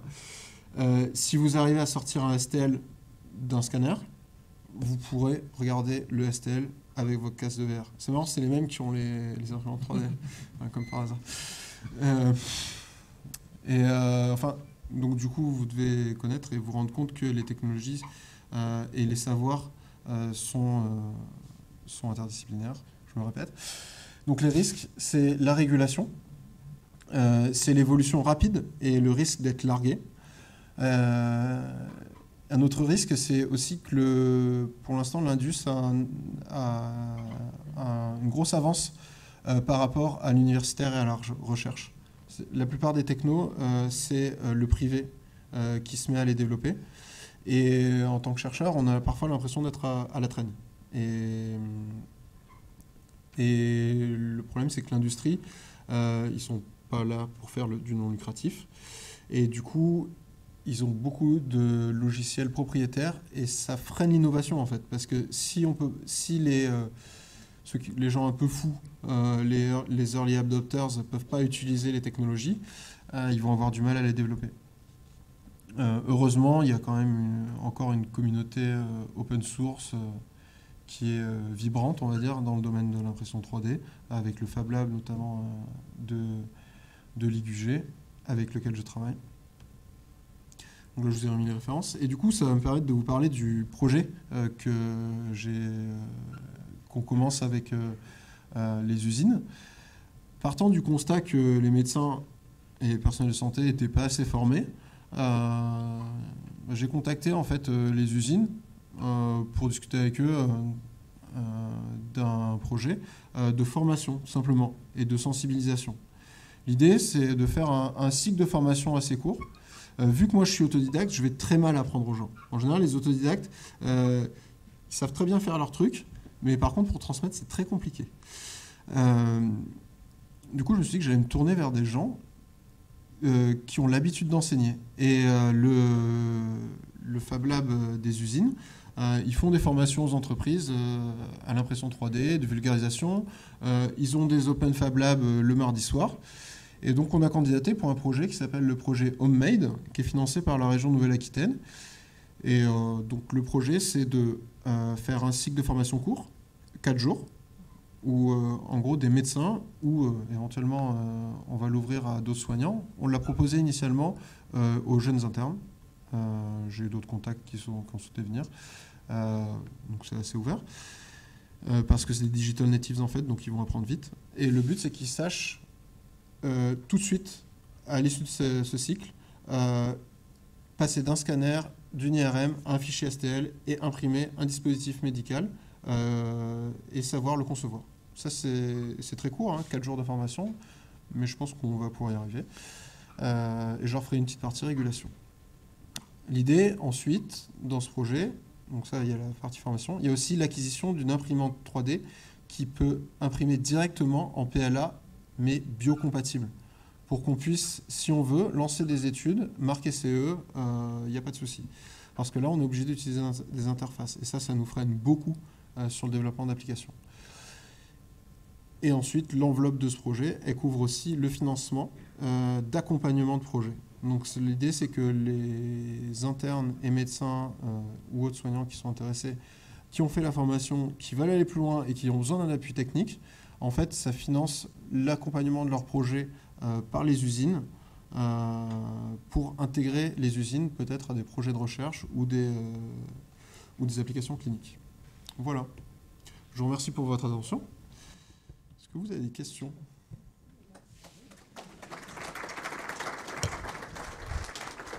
On a un petit peu de temps pour, pour les questions ou les, ou les remarques, donc j'arrive.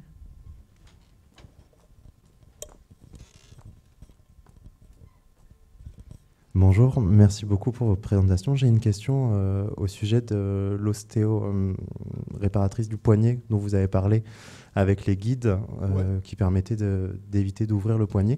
Est-ce qu'on a actuellement en France des hôpitaux dont c'est devenu un peu le gold standard pour ce genre d'opération? Non, non, pas du tout. Alors, il y a un truc dans chirurgie de la main pour lequel on le fait assez souvent en fait, c'est pour la maladie de Kinbuck. Ça, c'est quand c'est un type d'arthrose du poignet ça peut arriver chez les jeunes même. Euh, souvent quand ils ont une fracture de, l'avant-bras dans l'enfance et qu'il y a un cartilage de croissance qui s'est soudé, ça fait que ça pousse un peu de travers, du coup ils ont de l'arthrose précoce. Le traitement de, cette maladie, c'est de raccourcir euh, ou d'allonger un des deux os, soit le radius, soit l'ulna.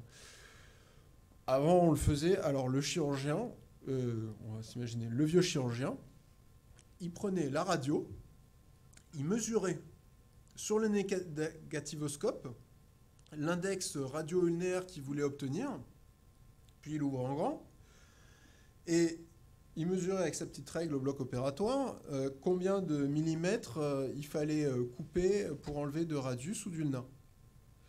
Maintenant, en fait, on, fait, on fait par impression 3D. les vieux, ils le font encore old school, hein, mais mais il y a même, en privé, hein, maintenant, ils, commandent les guides de coupe euh, sur mesure euh, pour raccourcir exactement la bonne longueur pour que l'articulation du poignet avec, euh, le radius, l'una et les os du carpe se retrouve pile au bon endroit. on imprime des guides de coupe, on incise pas plus grand que nécessaire et puis on coupe juste la bonne longueur. Ça, c'est une des applications en charge de la main et qui se démocratise à vitesse grand V. Voilà. Il y avait une question tout à l'heure par là Non? Merci. Bonsoir, merci beaucoup déjà pour euh, cette conférence, c'était génial. J'avais une question surtout par rapport au, niveau des entreprises qui s'occupent de démocratiser l'impression 3D comme euh, bah, Creality que vous avez cité ou Dagoma en France. Mmh. Est-ce que ces, entreprises, elles, utilisent bah, leur rôle euh, un peu pour démocratiser afin d'aider à développer justement ces technologies de bio-impression ou, vraiment elles restent dans leur domaine et elles s'en occupent pas du tout non, en fait, chacun de travailler, chacun travaille un peu dans son coin. C'est ça qui est un peu dommage. Euh, et on essaye en fait de, réunir les gens. Euh, c'est ce qu'on essaye de faire d'ailleurs dans la région Nouvelle-Aquitaine. Mais c'est assez difficile parce qu'en fait les savoirs sont un peu éparpillés. Euh, je vais prendre des exemples, hein, mais les médecins ils sont un peu dans leur coin.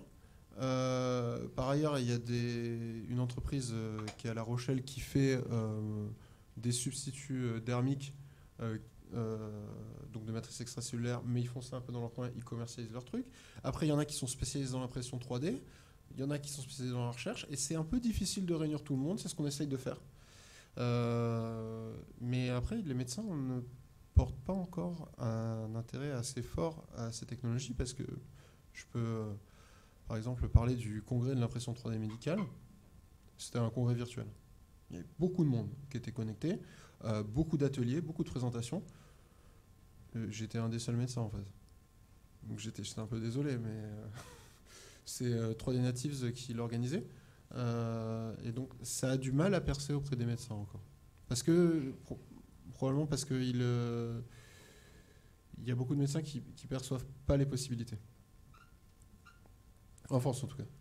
Pour information, il y a une société qui est à Bordeaux qui s'appelle Polyetis, euh, qui s'oriente sur le bioprinting et euh, qui vient de faire une levée de fonds de plus de 60 millions d'euros pour développer justement le bioprinting. Donc c'est vraiment, ça demande des fonds d'investissement colossaux. Euh, on sait tous que l'américain euh, peut très bien. D'ailleurs, il y a une partie d'américains qui sont sur ce fonds d'investissement. Donc, euh, une société, si elle veut se lancer dans le bioprinting, dans le secteur médical, il faut vraiment qu'elle ait l'idée et, les moyens financiers pour y aller. Hein. C'est assez compliqué. Pour revenir aux chirurgiens, dans le, dans le milieu, alors moi je, travaille actuellement dans le, dans le réseau Alicena, c'est Alliance Nouvelle Santé Nouvelle-Aquitaine, Innovation. Et c'est vrai qu'on a du mal, en fait, le, end-user, on appelle le chirurgien le end-user, le faire venir à une conférence pour qu'il explique sa problématique. Euh, si ça ne l'intéresse pas, il ne vient pas. Voilà, parce que bah, ils sont médecins, chirurgiens, euh, administratifs, enseignants, euh, ils font quasiment tout. Et leurs journées, malheureusement, ne font que 24 heures. ils dorment un peu de temps en temps. et que quand ils sortent de garde, moi j'ai eu une conférence, le chirurgien, et, il arrivait un quart d'heure en retard, il repartait très rapidement parce qu'il avait une intervention au bloc qui lui arrivait dessus. Donc c'est très compliqué de faire rencontrer euh, euh, les chirurgiens, les chercheurs académiques et euh, les industriels. Donc c'est vrai que dans la région Nouvelle-Aquitaine, on a cette chance-là, c'est qu'il y a vraiment une dynamique régionale pour faire rencontrer tous ces acteurs. Après, je pense que la plupart des, idées et des, indications qui vont se développer, là je vous en ai parlé un peu en fait, il y en a beaucoup qui vont venir des paramèdes. les paramédicaux euh, en fait, euh, qui s'orientent vers des cursus recherche vont avoir beaucoup d'idées parce qu'ils sont face à des problématiques. Le chirurgien aussi, hein, le médecin aussi, mais je pense que l'innovation, elle vient des utilisateurs et des usagers. Donc les paramédicaux aussi, et voir les patients en fait. Puisqu'on voit des prothèses de main, il y en a, c'était développé par les propres patients. Il y a de plus en plus de doubles cursus entre des cursus médicaux, de médecine, de chirurgie et des cursus d'ingénieur, qui soient, soit dans la mécanique, euh, euh, soit même l'aspect psychologique. Il y a vraiment maintenant, euh, dans certaines écoles, c'est même obligatoire que le chirurgien ou le médecin ait un double cursus.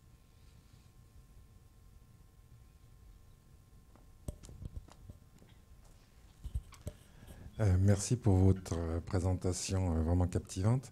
Je voulais savoir, selon vous, à quel horizon, en termes de temps, il sera possible, à partir de cellules euh, euh, provenant d'un patient, d'imprimer euh, des organes, comme par exemple ben, le cœur? En fait, ça va vraiment dépendre de l'organe, parce qu'il y a des organes qui sont beaucoup plus complexes que d'autres. Je pense que le premier organe qu'on pourra vraiment imprimer, c'est la peau. Alors, on a vu un exemple là où c'est un spray. Euh, le spray de kératinocyte qui tourne, c'est pas mal.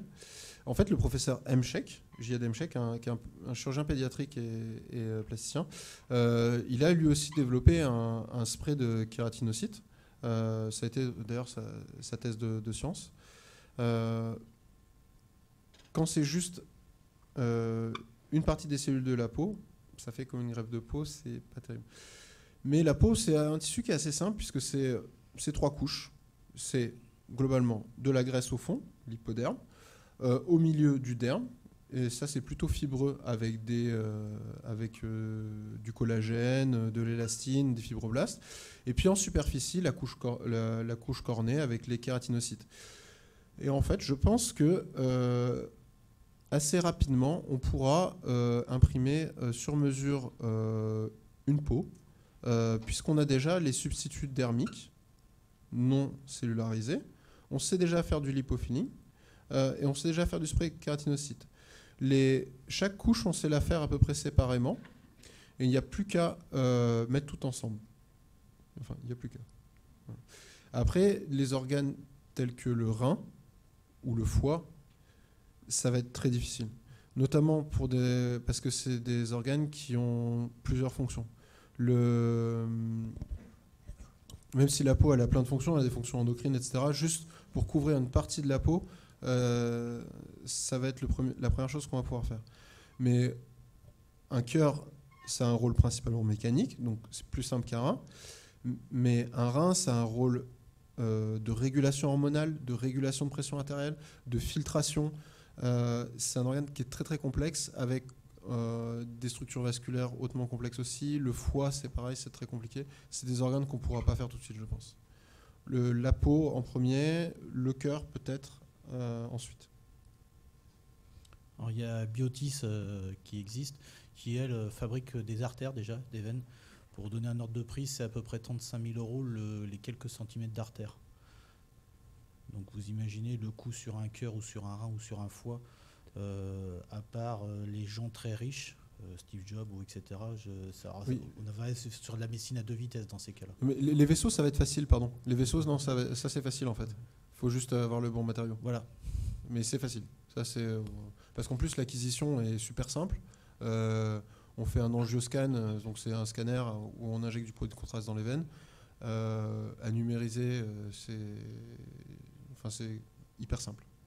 Donc les vaisseaux, oui, ça, bah, ça c'est déjà. Euh, Et, euh, mais les coûts vont diminuer parce que, en gros, comme toute nouvelle technologie, au début c'est très cher et petit à petit euh, les coûts baissent. C'est comme les premiers téléphones portables qui étaient avec une valise carrément comme ça, coûtaient très cher. Maintenant, c'est dans les moyens de tout le monde d'avoir un smartphone. Comme pour aller dans l'espace.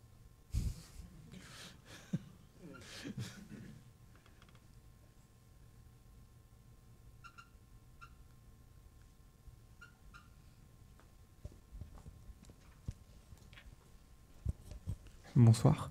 Euh, merci déjà pour votre, euh, votre intervention, c'était très intéressant. Euh, vous parliez de, des problèmes, des limites logistiques de l'impression 3D. Est-ce que vous ne pensez pas que justement cette dépendance un petit peu du pétrochimique qu'a l'heure actuelle l'impression 3D ne va pas être une limite tant que justement les, bio, les bio-impressions ne seront pas tout à fait au point? Je pense, certes, il y a une partie où c'est une limite, euh, mais je pense que c'est surtout une opportunité en fait. Parce que euh, ça va probablement être une des façons de revaloriser euh, les plastiques usagés. Il faut développer les traitements, mais à partir du moment où on peut les réutiliser pour en refaire des objets pour tout le monde quasiment, on va, c'est une solution écologique. Je n'ai pas beaucoup parlé ça dans ma présentation, mais je pense qu'en fait, certes, elle est dépendante de l'industrie pétrochimique, certes, il y a les problèmes de microplastiques, mais euh, plutôt que d'aller les brûler euh, euh, sur l'île principale des Maldives où les touristes ne vont pas, si on peut les garder sur place, ça évite le, le, transport. Si on peut en fait revaloriser nos déchets en, directement à la maison, euh, nos déchets plastiques. Je pense que c'est au contraire une opportunité pour le futur. Parce que ce que je pense, c'est qu'on on aura tous des imprimantes 3D euh, dans notre salon d'ici, euh, je sais pas, je dis un peu ça au pif, mais je pense que d'ici 10 ans, ce sera commun d'avoir une, une imprimante 3D dans son salon. Elles seront beaucoup plus simples d'utilisation. Euh, elle sera connectée au smartphone. Ah, j'ai besoin de ça, je clique, je lance l'impression. C'est un peu comme si je téléchargeais un objet d'Internet. C'est- Moi, je le, je le vois comme ça. Je vois l'impression 3D comme euh, soit de la téléportation, hein, puisque on a un objet à un endroit, on le retrouve à un autre, euh, soit euh, un téléchargement d'objets. Il y a 20 ans, on n'avait pas d'imprimante papier. Maintenant, on- qui n'a pas d'imprimante papier? Mais actuellement, les, les plastiques qui sont utilisés, ils sont pas, euh, sont pas issus de. Enfin, c'est pas des biomatériaux. Certains, il y en a, oui. Il y en a. Il y en a, oui. Le PLA est à base d'amidon, de maïs. Ou de. Euh, Il y, il en a un peu, mais il y a, quand, même, ça il y a reste- quand même de- il y a quand même des microplastiques dedans, donc c'est pas parfait. Moi, je- Oui, ça, ça reste des matériaux plastiques hein, qu'il Mm. faut. Mais c'est vrai que la chaîne de valeur. Mais il faut voir que oui, dans le secteur de la santé, c'est quand même euh, un des secteurs qui, euh, quand on voit des kits, des, Ah. des prothèses d'emballage, les emballages de prothèses, vous avez quatre ou cinq emballages et avec des notices euh, qu'il faut mettre obligatoires. La norme CE euh, oblige euh, d'avoir ces, ces- ces- ces emballages-là. Donc c'est c'est très, très polluant, on va dire. Et actuellement, on en a, nous, on en avait parlé dans un atelier. Euh, C'est une problématique actuelle et, et la région l'a dit justement travaille sur ça. Comment recycler les déchets du secteur de la santé. Oui. Bonsoir. Euh, je vous remercie également pour votre exposé. C'était très enrichissant. Euh, mais j'aimerais que vous reveniez justement sur, euh, sur ce matériau biocompatible. À titre personnel, je ne comprends pas très bien en quoi il est compatible justement avec l'organisme. Et d'ailleurs, je ne comprends pas non plus pourquoi un matériau comme euh, les métaux peuvent rester dans l'organisme sans poser problème. Peut-être que ce sera l'occasion de développer pour les autres. Oui, c'est une excellente question. En fait, biocompatible, c'est une norme. C'est et il y a beaucoup de choses, que ce soit en santé, en industrie ou dans notre vie, qui sont décidées de façon totalement arbitraire et on le norme. Le PLA biocompatible, c'est juste qu'il a été prouvé par des études scientifiques que si on le laisse en contact 24 heures avec la peau ou les muqueuses, on voit pas d'effet secondaire. C'est tout. Après, c'est, mais c'est, euh, c'est difficile de, de prouver que quelque chose n'existe pas. C'est plus facile de prouver que quelque chose existe. Hum, et donc, pareil, on parlait du, problème des métaux hein, euh, dans l'organisme, hein. les prothèses de hanches qui, s'usent. Oui, on retrouve des, fragments métalliques euh, dans le cerveau de gens qui ont des prothèses. Est-ce que ces fragments métalliques euh, sont néfastes pour l'organisme? On ne sait pas, en fait. Euh, on ne peut pas dire oui, ils sont néfastes, non, ils ne sont pas néfastes. Là, on va rentrer dans le métaphysique, un petit peu. Euh, Il y a corrélation et causalité. C'est pas la même chose. Et euh, par exemple, il y a eu toute il y a des questions qui sont posées, par exemple, par rapport à la démence, donc le déclin des facultés cognitives et des implants dentaires. Les gens qui avaient plus d'implants dentaires, euh, on s'est rendu compte que, euh, eh ben, ils avaient des scores euh, plus faibles sur, l'évaluation des fonctions supérieures quand ils étaient âgés. Alors, il y a des gens qui sont empressés de dire Ah, c'est la faute des implants dentaires. Ah oui, non, mais quand on a beaucoup d'implants dentaires, on retrouve des particules dans le cerveau. En fait, on a fait des analyses statistiques poussées et on s'est rendu compte que en fait, les gens qui, euh, qui avaient beaucoup plus d'implants dentaires avaient des conditions socio-économiques en fait, euh, plus défavorisées et que si on lissait euh, le déclin cognitif aux conditions socio-économiques, et c'est par rapport à l'âge, et ben en fait, la notion d'implant dentaire disparaissait. Donc oui, les gens favorisés ont la vie plus facile que les gens défavorisés. Mais donc c'est très difficile de, de prouver qu'un que un dispositif médical est néfaste. J'ai un peu digressé, mais, mais voilà. Mais oui, c'est biocompatible. On sait juste que ça peut rentrer en contact avec la peau et les muqueuses pendant 24 heures. Et puis c'est bon, c'est juste une norme. En orthopédie, c'est qui est un matériau qui est compatible, qui est toléré par le corps humain. Et le corps humain, dès que vous lui mettez quelque chose, de toute façon, il va avoir tendance à l'attaquer, à, essayer de le détruire. Et donc, en fait, il n'y a pas de matériau biocompatible à l'infini. Mais par contre, qui est toléré. Si par exemple, vous prenez une, prothèse, euh, euh, les premières prothèses euh, de, hanches hein, ou de genoux étaient dans des matériaux un peu un peu bizarres. Et c'est tout le problème actuellement, c'est que les matériaux, par exemple, on parle d'inox chinois qui rouille. Voilà, bah, vous avez du chrome cobalt, donner à notre pays parce que sinon, euh, voilà. Euh, c'est toute la qualité des, prothèses et en fait, bah, les matériaux, oui, dans le corps humain vont être désagrégés. Maintenant, une prothèse de, hanche, y a mis un million d'années avant d'être détériorée par le corps humain et que l'espérance de vie de 40 ans avec une prothèse de hanche, on va dire qu'elle est biocompatible. Donc voilà, ah, il y a la notion de biocompatibilité, de biofonctionnalité. une, prothèse qui ne, qui ne, glisse pas, elle n'est pas fonctionnelle. Donc là, elle va pas. Voilà. Donc et puis c'est toujours le bénéfice-risque. Voilà, c'est euh, quelqu'un qui va pas marcher parce qu'il va être alité, parce qu'il a sa hanche, euh, il ne peut plus marcher, il a une douleur de bah oui, on va lui mettre une prothèse de hanche parce que ça va permettre d'améliorer ses conditions de vie. Mais on prend le risque d'avoir des, particules euh, qui, sont, qui vont être relarguées dans le corps humain. En fait, dès qu'on a un matériel étranger dans le corps, on fait ce qu'on appelle une réaction à corps étranger.